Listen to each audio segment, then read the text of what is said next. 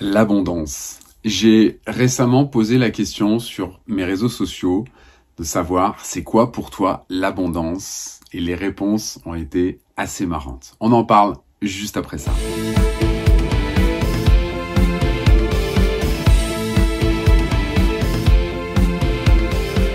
Bonjour et bienvenue, je suis Axel Crevaux, entrepreneur nomade, père de quatre enfants, j'ai 51 ans et sur cette chaîne je te partage ma vision de la vie, de l'entrepreneuriat, bref, des choses qui me passionnent, des choses que j'ai envie de transmettre aujourd'hui. Alors j'espère que ça te plaira et aujourd'hui particulièrement on va parler d'abondance. Alors l'abondance, quand j'ai posé la question sur mes réseaux sociaux, j'ai eu la première réponse, je m'en souviendrai toujours, mais il y a pas mal de gens qui ont répondu ça finalement. C'est un fromage de Savoie. Oui, l'abondance, c'est également un fromage. D'ailleurs, entre nous, c'est un très très bon fromage.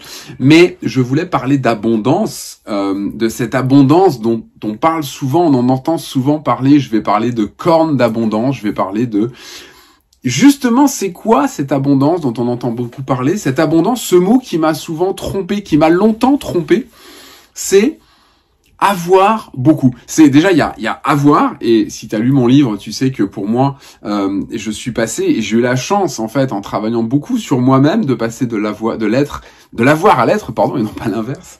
C'est-à-dire qu'à un moment donné dans ma vie, j'étais vraiment beaucoup dans le avoir, avoir, avoir, avoir toujours plus, avoir une plus grosse voiture, avoir une plus grosse maison, avoir euh, plus de choses, avoir le meilleur truc que j'ai déjà mais qu'il me faut le meilleur, etc., etc.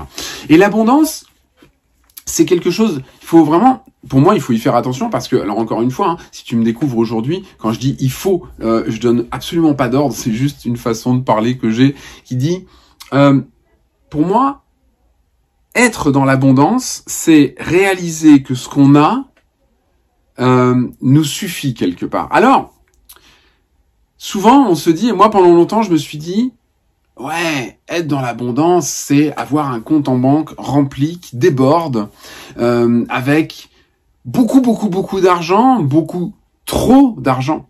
J'aime bien quand on parle, par exemple, de quand on compare un petit peu, on, est, on est une espèce humaine, une espèce animale, et quand on se compare aux animaux, euh, j'aime bien quand on dit qu'on verra jamais, par exemple, un lion remplir un, un, un hangar d'antilopes. C'est pas concevable. Le lion, il a faim, il va chasser, il mange, après il dort. et quand il a refaim, il rechasse. Nous, on a tendance, moi je vais te dire à un moment donné, euh, quand on avait notre ancienne maison, on avait carrément deux congélateurs. Alors, il y a toujours des excuses derrière parce que tu te dis bon on est une famille nombreuse euh, j'avais fait des, des plein de conserves et j'avais congelé notamment des du poivron euh, rouge parce que l'hiver bah c'est pas trop de saison et j'aimais bien faire des choses avec quand même. Bref il y a toujours des excuses pour dire on a on a on a mais si t'as deux congélateurs pourquoi t'en aurais pas un troisième? Euh, du coup si t'as deux voitures pourquoi t'en aurais pas une troisième etc etc et ça m'a longtemps trompé parce que pour moi le problème de cette abondance de cette surabondance, c'est qu'à un moment donné, il n'y a pas de fin.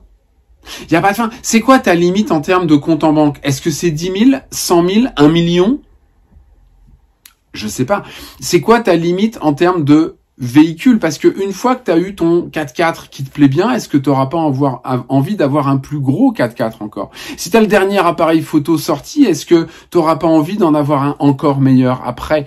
Et du coup, on fait pas attention que cette surabondance, cette abondance matérielle, euh, elle nous trompe complètement parce que elle nous remplit de quelque chose, mais elle oublie de nous remplir de l'essentiel, ou du coup on oublie de se remplir de l'essentiel parce que l'abondance, le, matériel finalement il y est pour rien lui.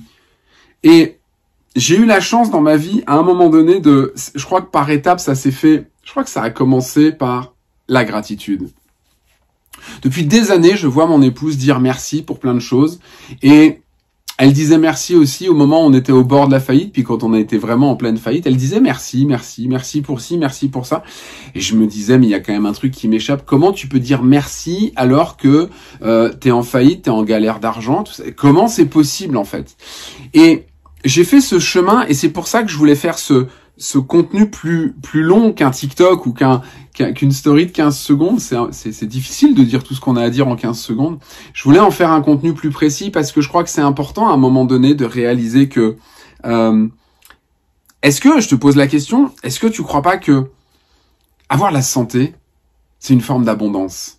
Parce que je vais pas parler de maladies graves, on pourrait, mais je vais juste parler de Tu sais, quand t'as un rhume, quand ton nez il est pris, que ton nez il est bouché, que éventuellement, je sais pas si ça t'arrive, tu perds l'odorat ou le goût, et que tu manges et que même on, on, on le réalise pas tout de suite, mais au bout d'un moment tu dis, mais, mais en fait, tout mon repas a eu le même goût, en fait j'ai plus aucun goût. T'as du mal à dormir parce que ton nez il est bouché, et est-ce qu'à ce moment-là, tu te mets pas à penser à tout le reste de l'année quand je respire bien, quand tout va bien au niveau de mon nez, je m'en rends pas compte en fait. Et c'est ça la gratitude. Pour moi, l'abondance, la gratitude, ce sont des choses qui sont complètement liées. C'est que merci à moi aujourd'hui de respirer pleinement. Merci à moi d'être en santé. Merci à moi d'avoir une chaise sur laquelle m'asseoir. Merci euh, pour le téléphone que j'utilise aujourd'hui pour euh, filmer. Oh, c'est pas le dernier téléphone sorti, mais il fonctionne très très bien. Et réaliser en fait se mettre dans la gratitude, remercier pour tout ce qu'on a. Donc, je reprends la santé. Je m'assois ce midi à table. Euh, Est-ce que j'ai de quoi manger? Oui. Est-ce que mes placards sont pleins? Non, je vais devoir aller faire les courses. Mais est-ce que j'ai suffisamment d'argent pour aller faire les courses? Oui. Ok. Alors tout est parfait. Alors tout est parfait parce que oui, mais peut-être que à la place de ce que je vais manger ce midi, j'aurais préféré euh, quelque chose de plus cher. Pourquoi? On a le droit. Mais déjà, de remercier pour ce qu'on a en fait. De remercier pour ce que la vie nous offre. Euh, on voudrait une plus grande maison, mais aujourd'hui on a une maison avec un toit, un lit. On a ce qu'il faut. On a du chauffage, on a de quoi prendre une douche chaude. Bref, etc. Je sais pas si tu saisis bien la nuance, mais l'abondance, pour moi, c'est ça en fait. L'abondance, c'est d'avoir ce dont tu as besoin au moment où tu en as besoin. Et si on parle du moment le plus important dans ta vie, c'est celui que tu es en train de vivre en ce moment même, au moment où tu me regardes, où tu m'écoutes, c'est le moment présent. Est-ce que tu as besoin d'autre chose là maintenant tout de suite? Est-ce que tu as besoin, je sais pas, peut-être tu m'entends pas bien, tu as besoin d'écouteurs, peut-être que voilà, mais est-ce que tu as besoin d'autre chose? Est-ce que là pour le moment tout va bien? Oui, alors parfait, tu dans l'abondance. Et c'est cette notion d'abondance, c'est cette notion de de réaliser que tu as déjà tout ce qu'il faut en ce moment même, qui fait que tu vas en attirer plus, mais dans une notion de euh, de cohérence et dans une notion qui va bien pour toi. Je dis pas que c'est la notion d'abondance n'est pas non plus de se satisfaire, de dire euh, moi je vis tout juste comme il faut, euh, les fins de mois sont pas évidentes, mais j'y arrive. Bah déjà t'es dans l'abondance. Il y a des gens qui ont vraiment faim, il y a des gens qui ont vraiment des soucis. Si t'as ça, déjà, t'es dans l'abondance, mais ça ne t'empêche pas de vouloir plus. Ça, c'est pas un problème. Ce qui, ce qui ne faut pas, là, je vais, je vais le dire parce que on est nombreux à le dire quand même.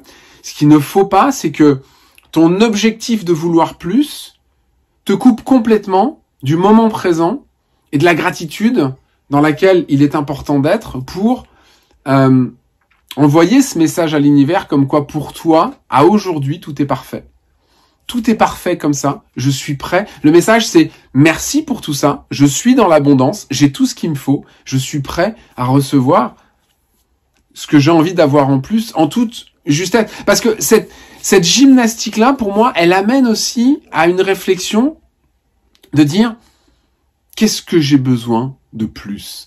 Qu'est-ce qui me...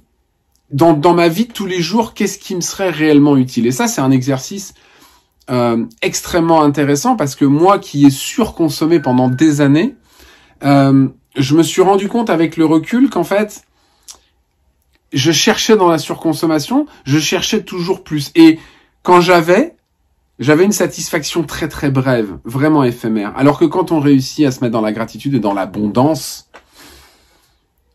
on s'émerveille en fait à chaque instant de la vie, on s'émerveille à chaque instant de balader son chien euh, avec un magnifique soleil, même s'il fait 6 degrés, de euh, ce qu'on va manger, de ce qu'on va entendre, de la musique qu'on entend, des échanges qu'on a avec les gens, etc., etc.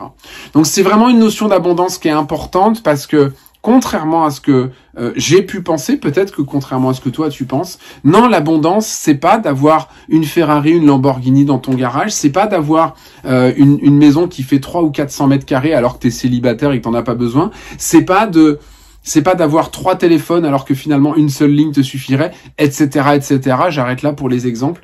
Euh, l'abondance, c'est pas ça. L'abondance, c'est vraiment pose-toi À la fin de cette vidéo, je vais t'inviter à faire ça, ou cet audio, peu importe comment tu m'entends ou tu me vois. Je t'invite à faire un exercice. Pose-toi, coupe toutes les distractions possibles et imaginables et réfléchis à ce que tu as aujourd'hui en fait. Réfléchis en toute sincérité et demande-toi si tu as déjà beaucoup, si tu as déjà suffisamment et qu'est-ce qui te manquerait éventuellement. Et ça, le manque, on aura l'occasion d'en parler dans un autre sujet parce que c'est un sujet à lui tout seul. Parce que attention à ne surtout pas mettre le focus sur le manque parce que c'est compliqué. Ça, tu sais que ce sur quoi tu mets ton focus, c'est ce que tu vas avoir. Je te remercie infiniment d'avoir suivi euh, cet épisode d'aujourd'hui. J'espère qu'il t'aura éclairé sur différentes choses. J'espère qu'il t'aura euh, appris, amené de la valeur. Je sais pas. Mais en tout cas, merci infiniment. Et puis, si tu aimes ce que je fais, n'hésite surtout pas. Pense à t'abonner, pense à mettre un commentaire, pense à mettre un sur un podcast, pense à mettre des étoiles et à mettre aussi euh, ton avis. Ça me fera plaisir, ça m'aide aussi. Et puis à partager autour de toi. Je te retrouve bientôt. Je te remercie. À très vite. Bye bye.